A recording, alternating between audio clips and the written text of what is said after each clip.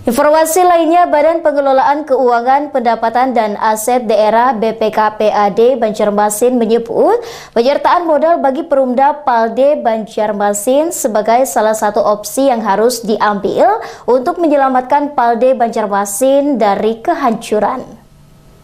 Rapat Badan Anggaran terkait usulan penyertaan modal bagi perusahaan air limbah daerah PALD Kota Banjarmasin yang diikuti pihak pemerintah kota yakni di antaranya BPKPAD termasuk PALD serta anggota DPRD bidang anggaran berjalan alok.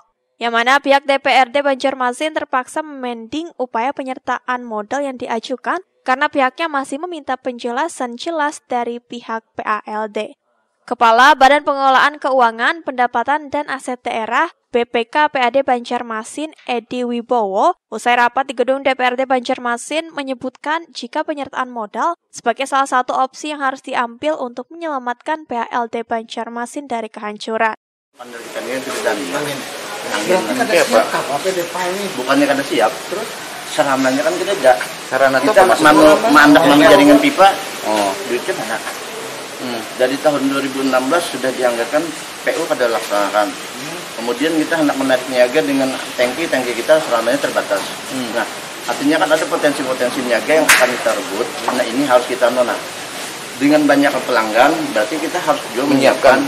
Nah, itu anunya. Ini kita akan hmm. mungkin nah, dengan adanya tambahan ini kita mungkin bisa nona. Jadi kegunaan duit ini adalah untuk investasi ya, jangka panjang, jangka pendek, jangka Edi menambahkan penyertaan modal itu nantinya akan digunakan untuk membangun infrastruktur dan lainnya. Ini untuk mempermudah PALD Banjarmasin menambah pelanggan. Murtasiah Banjar TV